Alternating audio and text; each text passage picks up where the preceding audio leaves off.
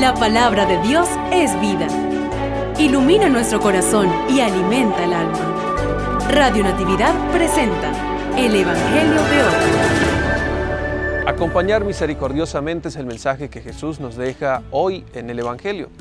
En Lucas capítulo 7 versículos 11 al 17, eh, la actuación de Jesús, la actuación misericordiosa que nos ofrece Jesús en la población de Naín nos muestra que no solo es necesario la acción, sino acompañado plenamente de la misericordia, para acompañar de manera especial a las personas que sufren, para permitir que puedan a través de la compañía, a través del consuelo, a través de la misericordia de Dios y del amor fraternal que como hermanos podemos ofrecer, puedan pasar del dolor a la esperanza de la muerte y la vida. Si este Evangelio de San Lucas nos muestra a una madre que estaba afligida, que padecía el dolor de la muerte de un hijo.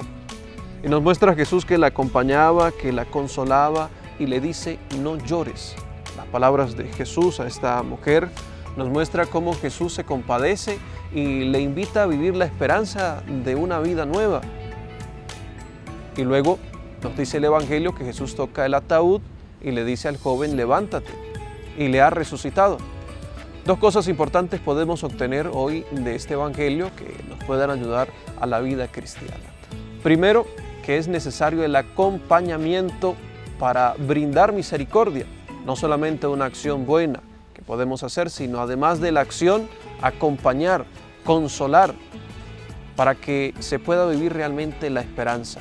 Y luego también con la resurrección que ha dado a este joven, nos invita a Jesús a prepararnos así a la vida nueva, la resurrección en el reino de los cielos y que van muy acompañadas. La acción misericordiosa que vivimos y hacemos acá en la tierra nos ayudan a prepararnos también a levantarnos a una vida nueva vivida en el reino de los cielos.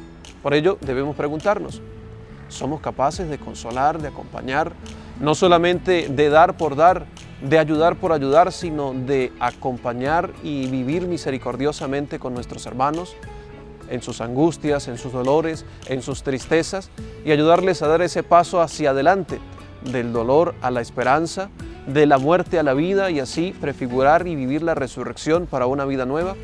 Pidamos a Dios que nos ayude a prepararnos también ese reino de los cielos, amando, acompañando a nuestros hermanos.